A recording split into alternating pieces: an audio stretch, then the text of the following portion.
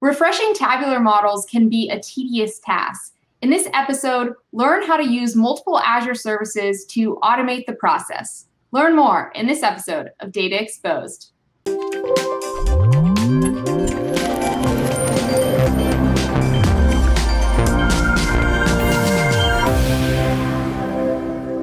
Hi, I'm Anna Hoffman, and welcome to this episode of Data Exposed MVP Edition. Today, I'm joined by Gaston. And before we get started, Gaston, why don't you tell us a little bit more about what it is that you do?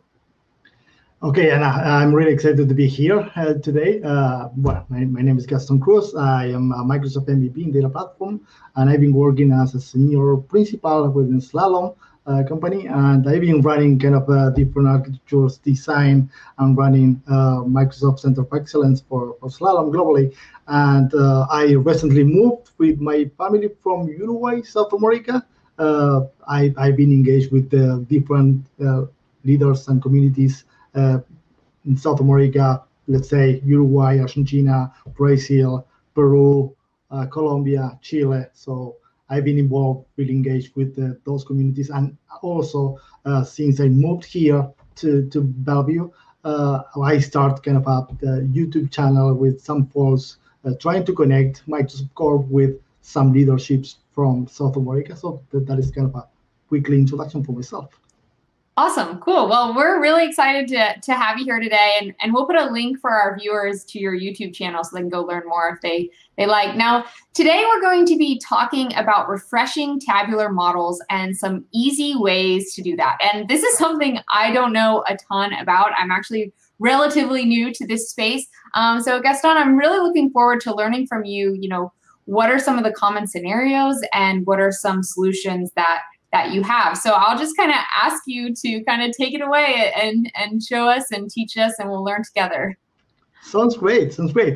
Okay, this is kind of a common uh, scenario where I, I, have been shopping with different clients and uh, talking about, okay, what is the best practice in terms of refreshing data models that you can uh, deploy in, let's say, Azure Analysis Services. Uh, so that being said, and this is kind of a scenario where you want to create a solution for your data models. Uh, as you know, and I can briefly into the introduction to the introduction on that end in terms of if you have multiple models, let's say you, you deploy a semantic layer in Azure services because you have multiple users that they want to run different reports, let's say in Power BI, accessing those data models. And uh, in some way, you need to refresh the data coming to your semantic model your semantic model can have a data source coming from Azure SQL DB, or let's say Azure Data Lake, or let's say a legacy system like SAP or, or Salesforce. So you can actually combine those data sources in Azure Analysis Services.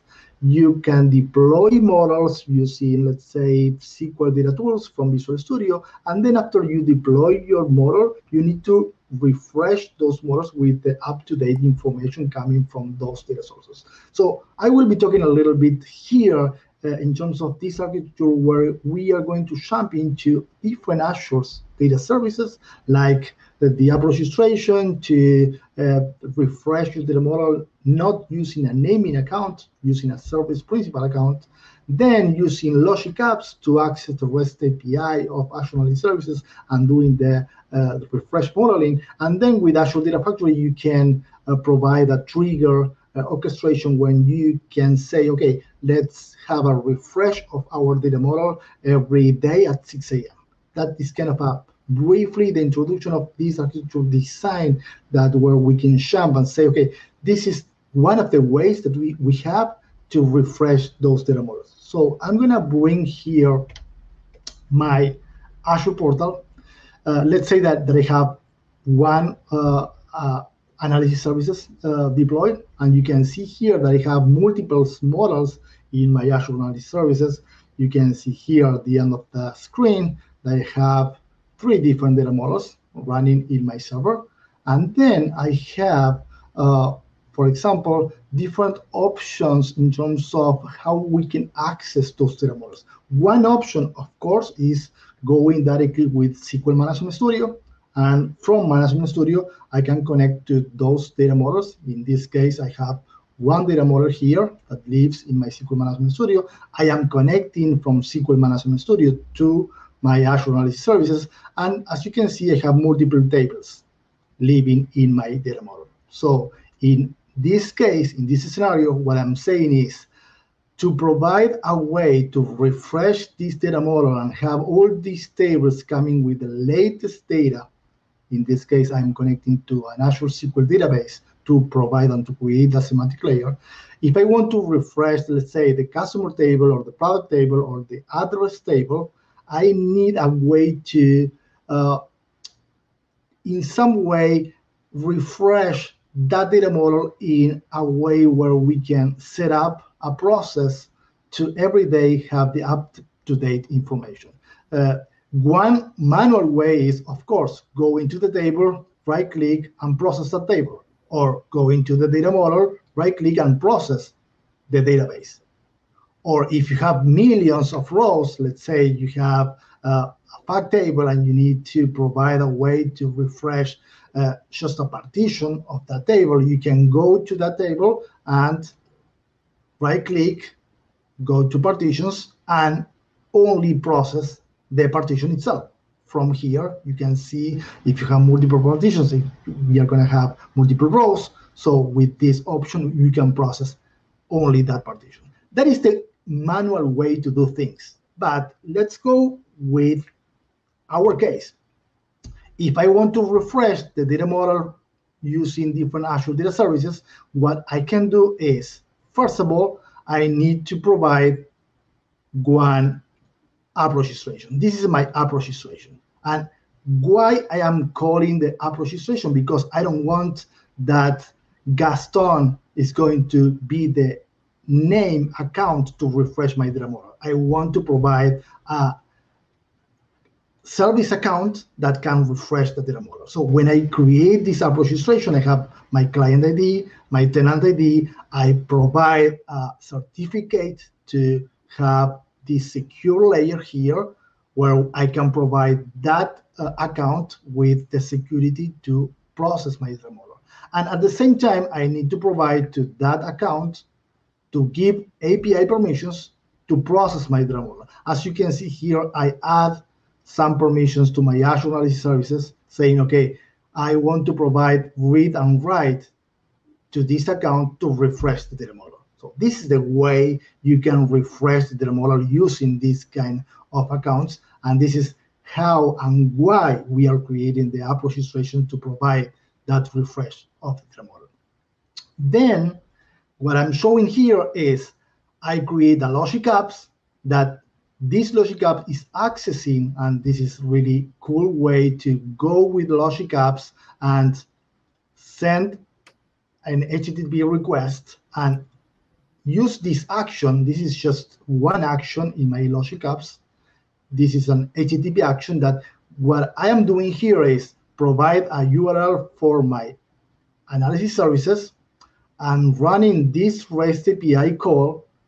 In this case, as you can see, I am refreshing one partition for the sales address table, and I am refreshing the table customers, and I am refreshing the table product. So I am saying with Logic Apps, I am refreshing three different tables of my Azure Analysis Services. Where I can jump and how uh, I bring all these details of accessing my Azure Analysis Services, I am showing here there's a link that I, we can provide that link. This is the link to access the REST API of Azure Analysis Services. So this is what I am using right now to do the authentication from Logic Apps and to run the process. You can see the body that I'm using to refresh my data model. So I am accessing directly from Logic Apps to the REST API of Analysis Services to do the refresh. And last but not least, uh, what I'm doing after that, of course, I can run the logic apps directly from here to see that my model is running and up to date. But at the same time, I can bring another services like Azure Data Factory that allow me to connect directly, and this is my Azure Data Factory uh, process where I just move only one activity. The, the activity that I moved is just a web action. And this web action in the settings is just calling this is the URL of my logic apps. So this URL, and I can show briefly, if you can see my logic apps, this URL is the one I provide from Azure Data Factory.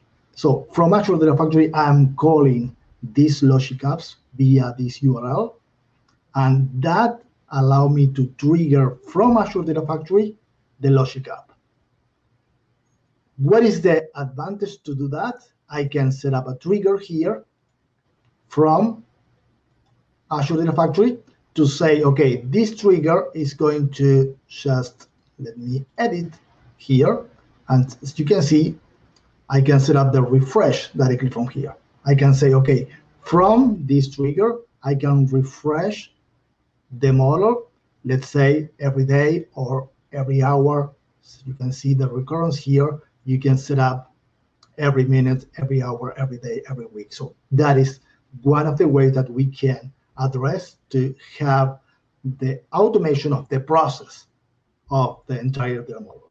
That is just kind of an introduction that we did here to understand what's going on in my Azure Analysis Services, how we connect to different data sources from Azure Analysis Services, and how we deploy a solution where we can have all my data models up to date without any manual effort.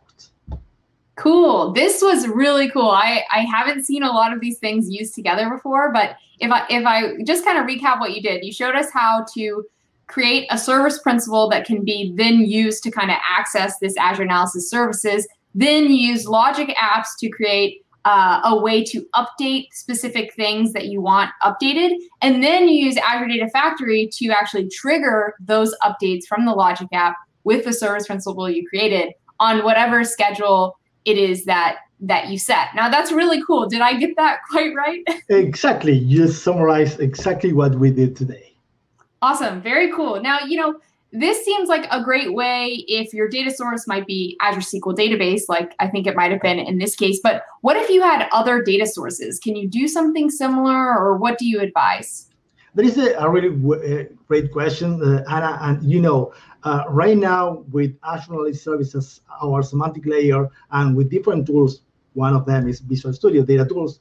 Uh, and with SQL Data Tools, what you can do is just go with Visual Studio and add different data sources to create your semantic model in uh, and then deploy to Azure Services. So let's say that you you don't have only Azure SQL Database. You have Azure SQL Database. You have uh, Cosmos DB. You have uh, different uh, uh Spark uh, pools. You have data lakes, and you can provide add all those data sources to your semantic models. You can create those relationships to connect different data sources and then create measures, create relationships, and then deploy the data model to Azure Analytics Services, and then start ramping up with these kind of solutions to update information.